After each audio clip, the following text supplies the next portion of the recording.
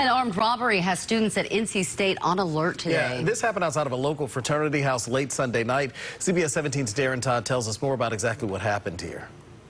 This incident took place right here at the Pi Kappa Phi fraternity house, and these students just moved in this weekend.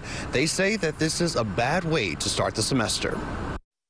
A scary start to the new school year for some NC State students. It was kind of expected to have some crime over here, but just not two days in. I was just kind of, you know, surprised by that. Sunday night, the university issued a wolf alert of an armed robbery at the Pi Kappa Phi fraternity house shortly after 11 o'clock. It was concerning in the sense that, like, you know, I mean, you, ne you never want to see things like that happen to, to anyone, any student, uh, anyone that lives in the area. According to campus police, two men pointed a gun at another man, demanding he exit his vehicle. The two suspects then attempted to drive off with the vehicle, but were unable to because they could not operate a manual transmission.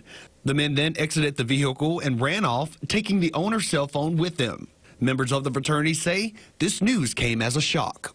So he kind of said something in one of the group chats. We saw that and we were just like in disbelief. We didn't know like, you know, what was going on or if he was okay. Police say that the two men stole another vehicle a few blocks over on Gorman Street. Now students want more to be done for their safety. I think especially after something like this happens, uh, it wouldn't hurt to have some extra like surveillance around.